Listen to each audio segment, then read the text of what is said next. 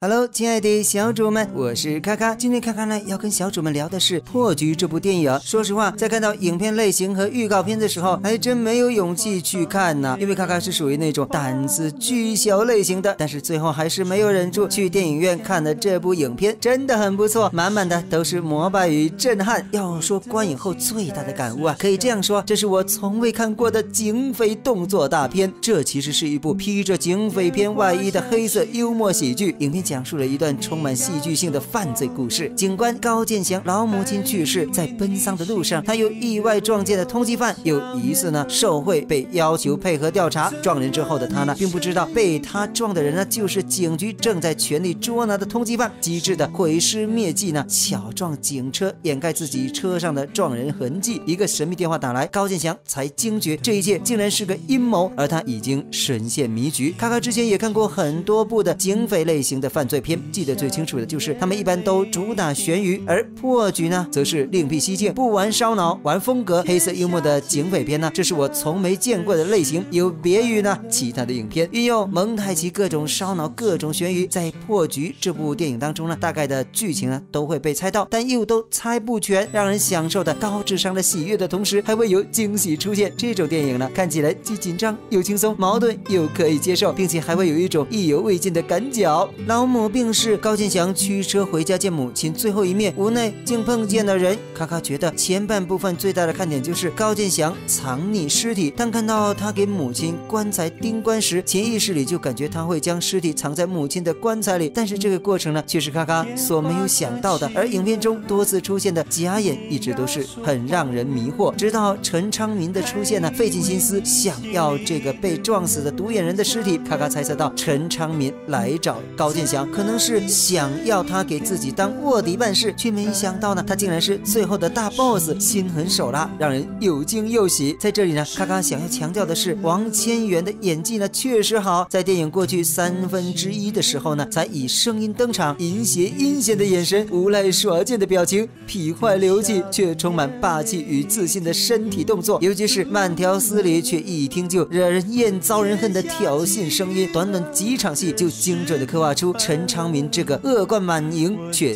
令人生畏的狠角色，小恶见大恶，高建祥是小恶，而陈昌明就是大恶。王千源生动地把握住了恶人的嘴脸，恨的人呐，真想背后抽刀宰了他。整部影片当中最高潮的戏份呢，那绝对是陈昌明死后劫生，追到高建祥的家里来索命。不得不说，他确实是一个非常有个性的大 boss，自己差点被炸死，还能问出你也不心疼我的话。软弱的高建祥在强大的大。大 boss 面前就是小丑一样的存在，却又披着正义的外衣，让人无比期待他的崛起和逆袭。最终，郭富城也终于不负众望，凭着自己的小聪明，终究让王千源得到了应有的下场，还得到了王千源留下的一金库的钱。虽说整部影片呢结构严谨，但确实也存在着一个大 BU 剧，比如陈昌明呢不在现场，为什么却可以对高建祥及同事在场的一举一动了如指掌？并可以无比精确的杀死了高进贤的同事，他也太神了吧！卡卡觉得整部影片最让人感到好笑的，不是主角有多蠢，而是主角明明智商在线，一本正经却合情合理的陷入的蠢局，做出了蠢事。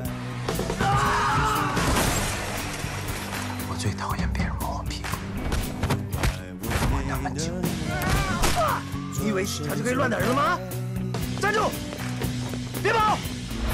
难道牺牲才是